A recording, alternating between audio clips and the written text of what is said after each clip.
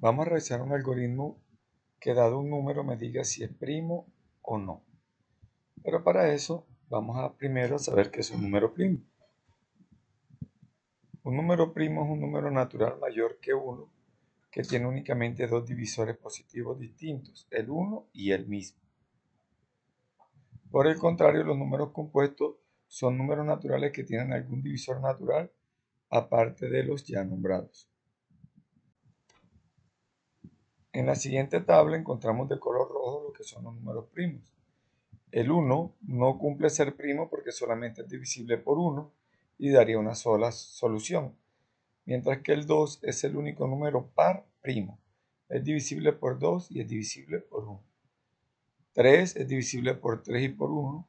4 no es un número primo porque ya lo, puedo eh, sacar de multiplicar 2 por 2, 4 por 1, entonces ya no sería un número primo. Y así sucesivamente todos los rojos son primos y todos los que están de verde son números compuestos. A continuación vamos a resolver si dado un número es un número primo o no. Número primo le voy a colocar el nombre. Vamos a declarar algunas variables. Definir n, donde n va a ser el número que le voy a, a digitar para que me diga si es primo o no lo voy a colocar como real. Ahora le voy a colocar escribir entre comillas, digite el número que quiere saber si es primo o no. Ahora le voy a decir que lo lea para que PCI lo entienda. Va a ser n. Ahora voy a validar esta n. Para validar esta n, voy a utilizar el ciclo mientras. Porque acuérdense que aquí le di la opción de que sea entero. Entonces vamos a validar. Mientras. Entonces la presión lógica aquí sería mientras que n menos trunc n diferente de cero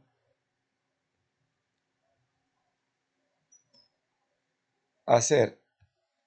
¿Qué va a hacer? Me va a decir el número debe ser entero, entonces que escriba un mensaje. El número debe ser entero. Y aquí le vamos a decir leer n nuevamente.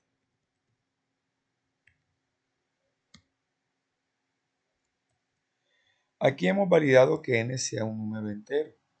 Listo, una vez pase esa validación, este algoritmo lo estoy haciendo eh, con mayor rigurosidad. Ustedes lo pueden encontrar todavía mucho más fácil. Ahora voy a preguntar con el sí. Voy a preguntar que si n es menor es menor que 0 si n es menor que 0, entonces acá de una vez que escriba, el número no es primo, ya que los números negativos no cumplen la definición, por ejemplo.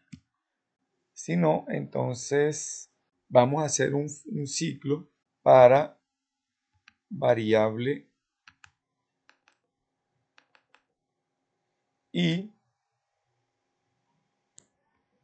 que va desde 1 hasta n con paso en 1, ¿qué me va a hacer? Lo primero que me va a preguntar es que si,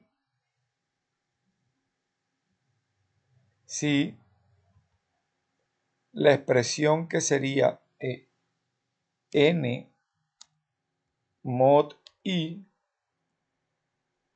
igual a 0, si n mod i igual a 0, significa que eh, la división es exacta por, por i.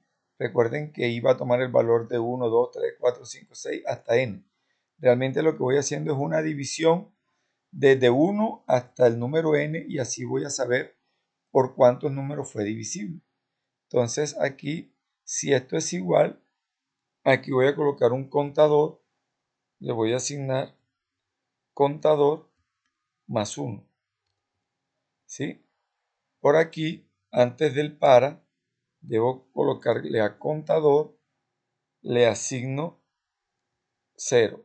Me toca aquí venir a definir las variables. definir contador, coma y como entero.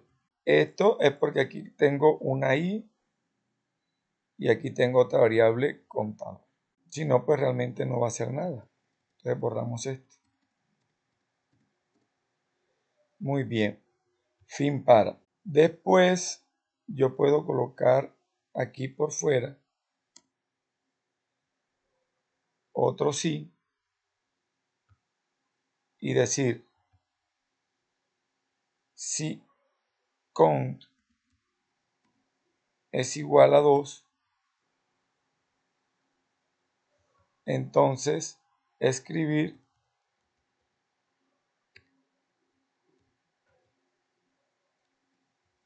el número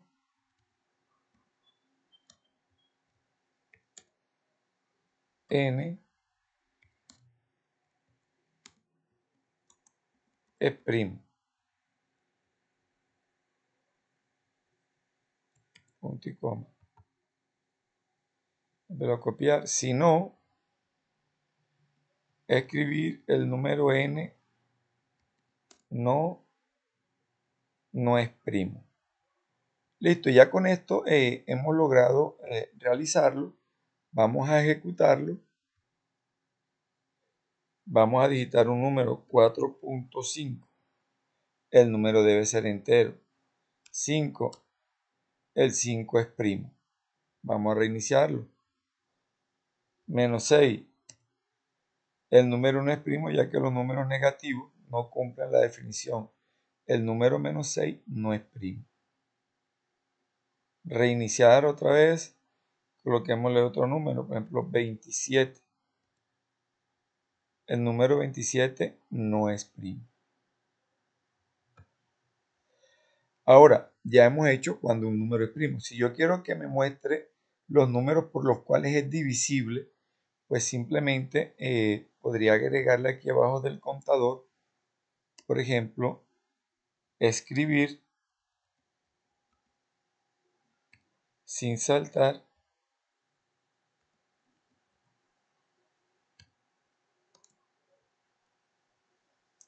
Entonces vamos a escribir aquí sin saltar entre comillas.